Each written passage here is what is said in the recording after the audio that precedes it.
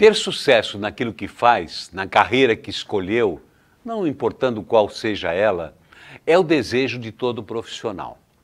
Por isso, eu imagino que seja o seu desejo também.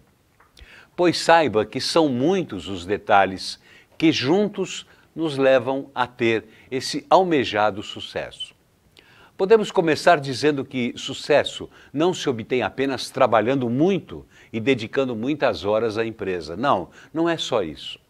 O sucesso profissional, ele é obtido também quando estamos fora da empresa, continuando a estudar, apesar de já formados, quando nos atualizamos através de leituras profissionais e quando procuramos saber o que acontece em nosso campo profissional.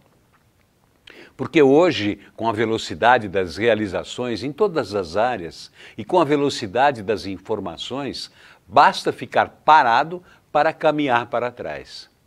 Só com esse esforço extra de atualização é que conseguiremos o sucesso.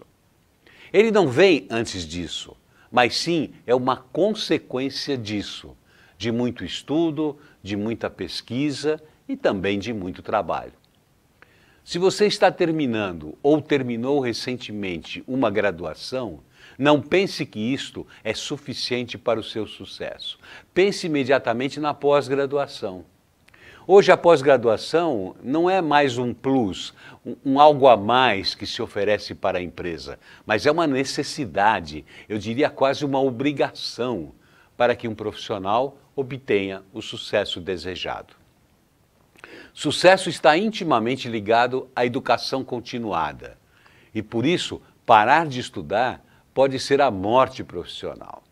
Existem hoje muitas entidades que oferecem cursos até gratuitos de atualização, com duração média de 60, 70 horas, e que abrangem os mais diversos assuntos.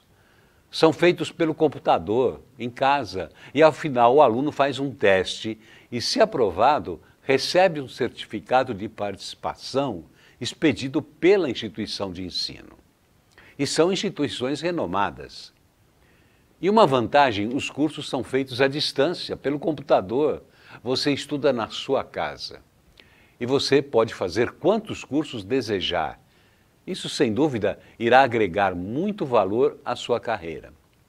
Outro ponto importante: aproveite todas as oportunidades dentro da empresa para aprender coisas novas. Se a empresa está implantando um novo sistema, um novo método de trabalho, ofereça-se como voluntário para participar. Mesmo que isso lhe custe algumas horas a mais de trabalho ou um trabalho fora de horário, é sem remuneração extra, se apresente. Você estará aprendendo coisas novas e, além disso, mostrará aos outros uma imagem de pessoa que colabora, que quer aprender. Isso também é importante para o seu marketing pessoal. Um ponto importante a ser ressaltado: procure sempre que possível trabalhar com aquele chefe exigente, durão, porque ele não irá ensiná-lo a quebrar galhos, mas irá exigir que você faça o melhor, irá desafiá-lo e isso o motivará para estar sempre aprendendo mais e mais. Finalmente, uma última sugestão. Para obter sucesso na sua carreira, não se acomode com as vitórias.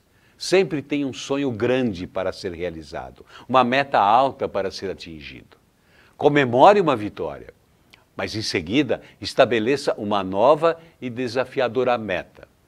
E não esqueça do seu marketing pessoal, porque afinal hoje não basta ser competente.